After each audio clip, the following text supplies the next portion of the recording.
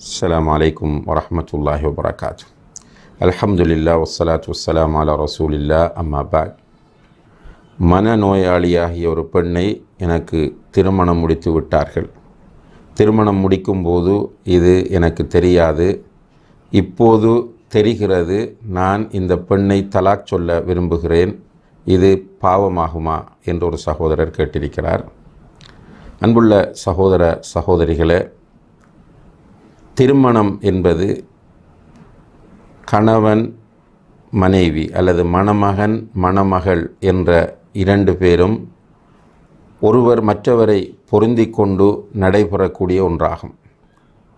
இந்த இடத்திலே தான் இஸ்லாம் மிக முக்கியமான வழிகாட்டல்களை நமக்கு வழங்குகிறது.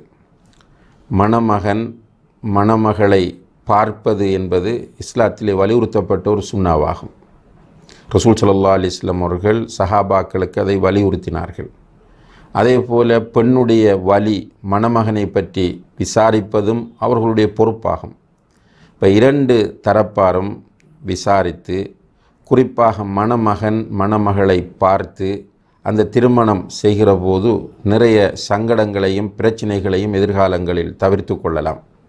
அவ்வாறில்லாமல் சில பெற்றோர் நான் பார்க்கக்கூடிய பிள்ளையைத்தான் நீ முடிக்க வேண்டும் என்று நிர்பந்திப்பார்கள். அல்லது பெற்றோரின் மீது உள்ள அளவுக்கு அதிகமான நம்பிக்கையினால் மணமக்கள் சில நேரங்களில் பெண்ணை பார்க்காமல் திருமணம் முடிப்பார்கள். பிறகு தெரிய வருகிற போது அவர்கள் தலாக் சொல்வது அல்லது வேறு பிரச்சனைகளை சந்திக்கக்கூடிய நிலை உருவாகிறது. இதற்கு காரணம் அங்கே நபிசல்லா அலிஸ்லாம் அவர்களுடைய வழிகாட்டல் தவற விடப்பட்டதாகும் எனவே இதை நாம் எப்போதுமே கவனத்தில் கொண்டு திருமணம் செய்கிற போது இதை எடுத்து நடக்க முயற்சி செய்ய வேண்டும். திருமணம் நிறைவேறிய பிறகு மனைவியிடத்தில் குறைகள் இருக்கின்றன என்பது ஒரு கணவனுக்கு தெரிய வந்தால் அந்த குறை இரண்டு பேரும் சேர்ந்து வாழ்வதற்கு தடையான குறையாக இருக்குமாக இருந்தால் அந்த பெண்ணை தலாக் சொல்லுகிற நூறு வீத உரிமையும் அனுமதியும் அந்த கணவனுக்கு இருக்கிறது என்பதை உலமாக்கள் நமக்கு தெளிவுபடுத்தி இருக்கிறார்கள். எனவே இங்கே கேள்வி கேட்ட சகோதரர் தன்னுடைய மனைவி ஒரு மனநோயாளி என்பதை திருமணத்திற்கு பிறகு அறிந்து கொள்கிறார்.